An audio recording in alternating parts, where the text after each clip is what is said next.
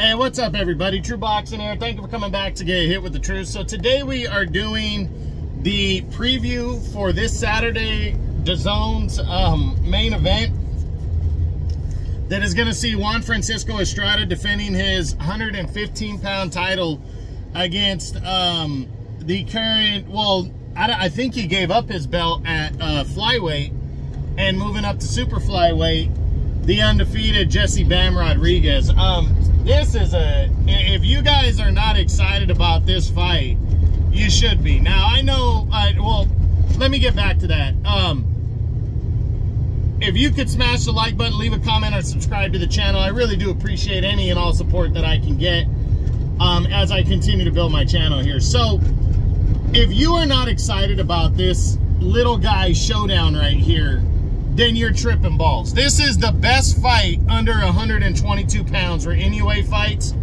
that we can get right now. Juan Francisco Estrada is the king at 115 pounds. That's super flyweight right here. He is the king. He defeated, um, he has wins over uh, Rungvisai, um, and uh, I think two wins over Rungvisai. And then he also defeated Chocolatito in back-to-back -back fights. Very close fights, though. Very close fights. So, um, that was his uh, latest uh, big fight victory.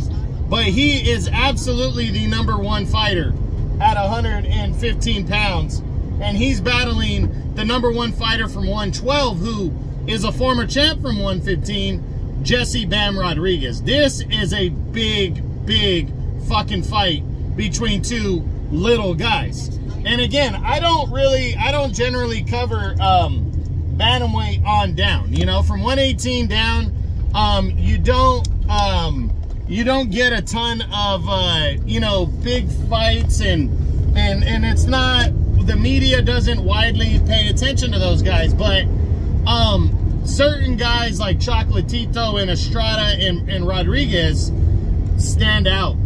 And this fight right here is going to be all fucking action right here. You got the veteran Estrada, um, been around for a long time. He's been in wars. He's worked hard to build himself up to be the top guy. And now he's taken on the um, next top guy, projected to be the next top guy in Jesse Bam Rodriguez. Uh, Bam, uh, you know, moved down to 112, regained a title last year after um, a stellar run at 115 where he knocked out Rungvisai, um, probably had the best performance against um, Rungvisai than anybody did, uh, stopping him. Um, and and now, you know, and then he moves down to 112 and he dominated Sunny Edwards in a unification bout last year. And now, again, this is the biggest fight that could be made for Jesse Bam Rodriguez. He didn't want to fight Chocolatito. He wanted Estrada.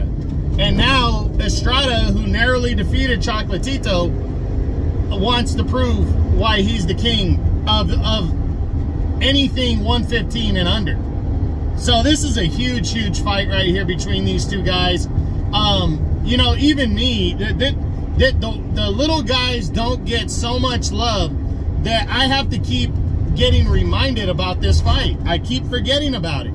And I think it's a great fight, and I can't keep it in my head um, for some reason. And um, I went to go look at the schedule to look at the undercard of Lopez and Claggett, which I think that's a trash-ass main event on ESPN and I saw that uh, this fight on the schedule, and I went, oh shit, right on. So this Saturday, you're gonna see an all-out war between these two little guys right here, and I think it's gonna be good. Is it gonna be a passing of the torch, or is it gonna be the, hey son, you're not ready yet, Estrada spanking the, the younger guy's ass? My prediction, my official prediction, I'm going with Jesse Bam Rodriguez. I think he's gonna be the new king at 115. I think he's going to beat Estrada. I think he either stops him in the late rounds or he gets a, a decision victory. It could be close, though, because Estrada is that good. Um, but I think if you compare what they've done against recent guys, I think um, I think Rodriguez showed against Rungvisai just a couple years back that he is on a different speed and power level than guys like um, Rungvisai, Chocolatito, and Estrada. And I think he's going to prove that against Estrada. But again, Estrada could absolutely win this fight and prove why he's the best once again. So, um, huge, huge fight right here. Can't wait to see it this Saturday, June 29th on um, on DAZN. Make sure you check it out.